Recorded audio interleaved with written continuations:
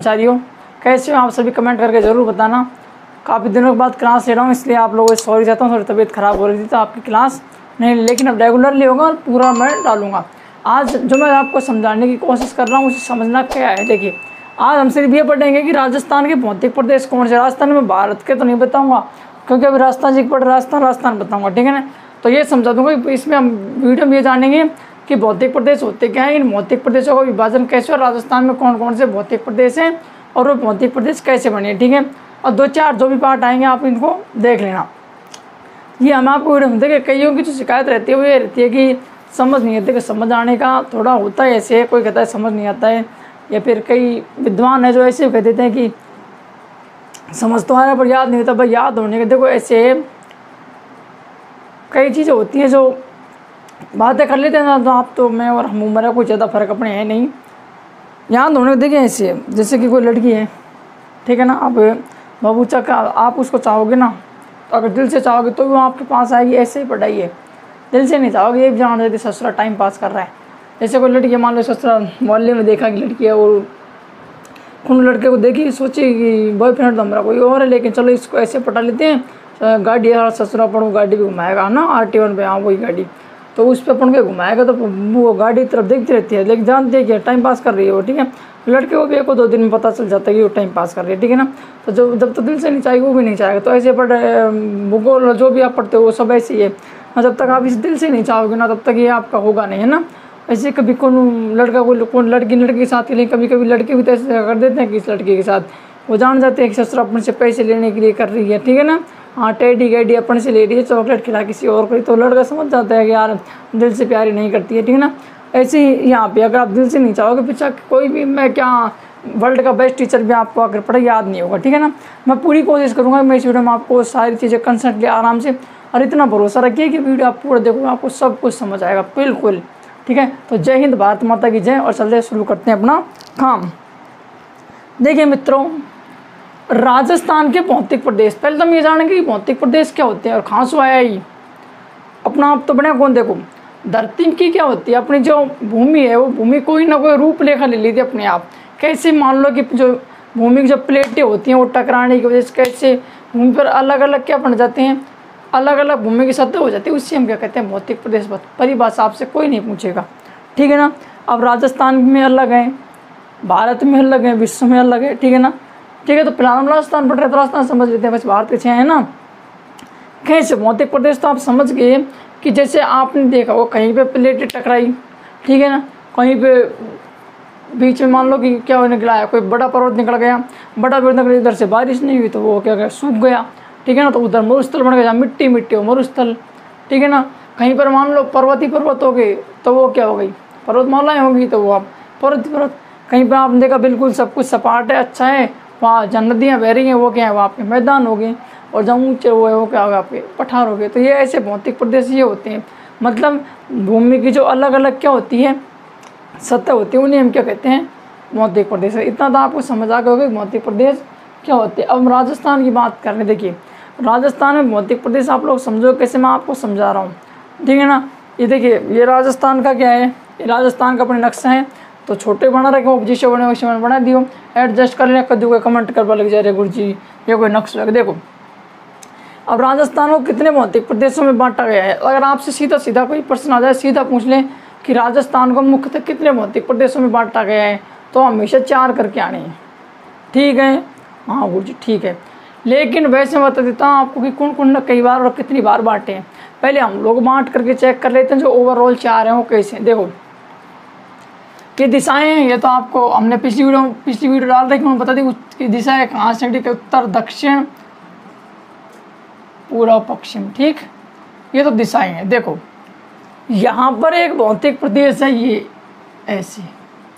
यहाँ पे मिट्टी मिट्टी है तो ये एक भौतिक प्रदेश हो गया, थार का मरुस्थल। ये लो जी, एक भौतिक प्रदेश। क्योंकि यहाँ मिट्टी मिट्टी है राजस्थान में। उत्तर पश्चिम का मरुस्थल कहते हैं। इसके बाद यहाँ पर राजस्थान में पहाड़ियाँ ही पहाड़ियाँ हैं। ये लो ये लो जी दू, दूसरा भौतिक प्रदेश। कौन सी पहाड़ियाँ? अरावली की पहाड़ियाँ। ये लो जी दूसरा भौतिक प्रदेश। यहाँ पर बच्चों नदियाँ बहती हैं और जहाँ पर नदियाँ बहती है उसे क्या कहते हैं? उसे मैदान कहते हैं। लो तीसरा भौतिक प्रदेश। और यहाँ पर पठार ही पठार हैं और ये क्या हो गया? आपके पठार जैसे हाड़ोती का पठार ये हैं। इसे दक्षिण पूर्व का पठार भी कहते हैं तो ऐसे करके चार भौतिक प्रदेशों में बांटा गया है। आप कैसे समझे? देखो सीधा सीधा ये मानो कि ये आपका घर है यहाँ पर। यह आपका घर है। ये लो जी यह आपका घर है। यहाँ आपकी गर्लफ्रेंड का घर है, ये लो। आपको बयालीस मिल बताना ये लो। अब उस पूजा सीमा, आरती भारती जो भी है, उससे अगर मिलने जाना है, मिलना पड़ेगा क्योंकि आपको याद आ रही है तो ये मान कि उसको आप याद कर, मिलने के लिए जा रहे हो तो आप यहाँ से मोटरसाइकिल लेकर के चलिए। जैसे आप मोटरसाइकिल लेकर के चलोगे सबसे पहले मान लो आपको मिट्टी पार करनी पड़ेगी, ऐसे ध्यान रखना। भूल जाओ ना भौतिक प्रदेश। क्रम भी पूछे तो आप कैसे ध्यान रखोगे कि मैं उससे मिलने, पूजा से मिलने के लिए जा रहा हूँ। तो सबसे पहले क्या आएगी मिट्टी आएगी, जहाँ मिट्टी आती है उसे मरुस्थल कहते हैं। उसके बाद एक ऊँचा सा डूंगर आएगा, वो डूंगर कूदना पड़ेगा। अगर डूंगर में हाथ पर टूटा तो मल्लू को आँसू। तो जहाँ पर पर्वत पहाड़ियाँ होंगी उससे क्या कहेंगे? अरावली। ठीक है? फिर उससे मिलने के बाद बीच में नदी आ जाएगी मैं मोटरसाइकिल तो अपनी रोक दूँ, फिर तो मुझे तैर करके जाना पड़ेगा, कि पूजा से मिलना ज़रूरी है। तो उसके बाद नदी आएगी लास्ट मतलब पठार आएगा, ठीक है? ऐसे कर चार मध्य प्रदेश। हाँ देखो, पढ़ने में आपको एक वीडियो बनाऊँ, उसमें ये बताऊँगा कि पढ़ा हुआ याद क्यों नहीं रहता। अरे, वो मैंने बना दिया अब ऐसे बनाऊँ, पढ़ा, आपको याद रहेगा ही रहेगा। वो तरीका क्या होता है? पढ़ने का कि शेरी ब्रह्म में जाना ज़रूरी है, जिसका शेरी ब्रह्म बेहतर काम करता है ध्यान रखना पढ़ना, वो उससे ज़्यादा याद रहता है। ठीक है ना? ये बाकी तो बहुत लोग बात हैं कि संग पुष्पी पियो, फलाना पियो और कुछ नहीं होता। उसे बादाम खाने से बुद्धियाँ बढ़ती, सारे पैसे वाले हो गए बच्चे होशियार होते। ठार का मरुस्थल हो गया, अरावली हो जाएगी, फिर आपको हो जाएगा मैदान हो जाएगा पठार। समझो आप मोटरसाइकिल की पूजा से मिलने जा रहे हो, पहले आपको मिट्टी पार करनी है, फिर आपको पहाड़ियाँ पार करनी है, फिर आपको नदी पार करनी है और लास्ट में आपको पठार पार करना है। आपसे सीधा सीधा पूछेगा, राजस्थान के चार भौतिक प्रदेशों में निम्न और राजस्थान के चार भौतिक प्रदेश में कौन सा राजस्थान भौतिक प्रदेश? नहीं है, ऐसे कुछ नाम तो है। तो तीन तो इनमें से मिलेगा और एक कोई अलग ऑप्शन दे दे, जैसे हिमालय दे दे, हिमालय राजस्थान का ही नहीं, वो तो भारत का है। ठीक है तो ऐसे इनको रट लेना हो गया याद गुरु जी तुम राम काटना देना मत करो अब ऐसे आपसे पूछ लिया, उसके अलावा देखो। भौतिक प्रदेशों का बच्चों, सर्वप्रथम जो विभाजन किया था, वो वीसी मिश्रा जी ने किया था। सर्वप्रथम विभाजन वीसी मिश्रा जी ने किया भूगोल पुस्तक के अंदर उन्नीस सौ सड़सठ। ठीक है, इसके बाद क्या हुआ? सेकेंड बार इन्हें एस के सैन ने बांटा था। उन्होंने तीन भागों में बांटा था। और तीसरी बार में रामलोचन सिंह ने बांटा उन्होंने दो भागों में बांटा था। तो कैसे ध्यान रखोगे? देखो वी लास्ट में जब तो बहुत सारे अक्षर कवर कर लेती हैं तो वी से ध्यान रखना सात एस से ध्यान रखना तीन और राम लोचन से ध्यान राम लोचन पाँच हो गए, लेकिन आप ध्यान तीसरे में दूसरा। ऐसे पूछे नहीं आप, ऐसे बस ध्यान को ध्यान रखने वाली बात नहीं है, इसलिए ध्यान रख लेना हो जाए याद यार ऐसी कोई बात नहीं है कि जो वी सी में सात भागों सात भागों में बांटा था एस के सैन ने दो सॉरी तीन भागों में बांटा था और राम लोचन ने दो भागों में। तो सात, फिर तीन, फिर दो। हो जाएगा याद? हो गए, हो जाए आप कहीं। आप हमको यहाँ समझो, हो गया याद? चिंता क्यों करते हो? हो गया ना याद? बी सी मिश्रा ने सात भागों में, एच के सैन ने तीन भागों में और राम लोचन जी ने दो भागों में। हो गया? सात, तीन, दो। देखो, अब कई बार एक प्रश्न पूछ लेता है कि थार का मरुस्थल किसका अवशेष है? कई बार पूछा था अरावली किसका अवशेष है? कई बार पूछा था मैदान किसके अवशेष है कई बार पूछा था पठार किसके अवशेष है अब इसको आप कैसे देखो? कोई नहीं आ, कोई कहता है पृथ्वी गोल है कोई कहता है पृथ्वी चपटी दार ना पृथ्वी गोल है ना चपटी है। वो तो कभी भूगोल का क्लास लेंगे ना इंडिया का तो बताएँगे चपटी क्यों नहीं है। हुआ क्या देखो पृथ्वी की जो प्लेट होती है वो आपस में कई बार टकराने लग जाती है। इसी यही कारण है आप भी जानते हो कि भूकंप भूकंप जो आते हैं वो इसी वजह से आते हैं। ज्वालामुखी भी इसी वजह से पड़ते हैं। पहले जो हिमालय गुजरे आठ हज़ार आठ सौ अड़तालीस थी माउंट एवरेस्ट को बढ़ गए पचास हो गई। क्यों? क्योंकि प्लेटें टकराने से बढ़ गई है वो, है ना? तो प्लेटें टकराई होंगी, देखो। इसे कहते हैं वेगनर का महाद्वीपीय सिद्धांत। पहले महासात महाद्वीप नहीं थे और फिर बाद में वेगनर ने बताया था। वेगनर ने पहली बार ये सिद्धांत जर्मनी की तरफ़ उन्नीस सौ बारह में उन्होंने ये सिद्धांत दिया था। फिर वापस इसे प्रतिपादित किया, चौदह फिर अट्ठारह उन्नीस दिया। लेकिन उस समय प्रथम विश्व युद्ध चल रहा था तो किसी ने ध्यान दिया, बाद में लोगों ने ध्यान देना शुरू कर दिया देखिए, कार्बनी फेरेस में बता कार्बनी फेरेस जिसमें कोयला बना था। ये क्या कहते हैं, वेगनर जी महाराज? ये ऐसे कहते हैं कि ये पूरी जो पृथ्वी थी, जो पहले ऐसे पूरी पृथ्वी थी, ये लो। कोई महाद्वीप महाद्वीप नहीं थे, ऐसे करके पूरी पृथ्वी थी। और इस पूरी पृथ्वी को उसने नाम दिया था कि भाई ये पेंजिया है ये क्या है? ये पूरी जो पृथ्वी थी, उसे क्या नाम दिया था, पेंजिया नाम दिया था। और ये कहा था कि इस पृथ्वी के चारों ओर क्या है? पानी पानी है। क्या है? पानी पानी। इसके चारों तरफ़ पानी पानी है और उसको इस नाम दे दिया पेंथलासा। कैसे ध्यान रखोगे? जो धरती है अपनी, उसका पहले नाम पेंजिया था, इसके चारों तरफ़ पानी था, जिसे क्या कहते हैं? पेंथलासा। ठीक है? दो चीज़ हो गई। अब बाद में क्या हुआ कि पैंताला समुद्र है। उससे बाद में सूर्य की गिरी गिरी होंगी, ऊपर से पानी वानी उठा, अगर बारिश होना शुरू हो गई, और बारिश होकर के इस स्थल भाग पर भी क्या हो गई, बारिश आना शुरू हो गई, और इस स्थल भाग पर एक और सागर बन गया, जिसको नाम दे दिया क्या? टेथिस सागर।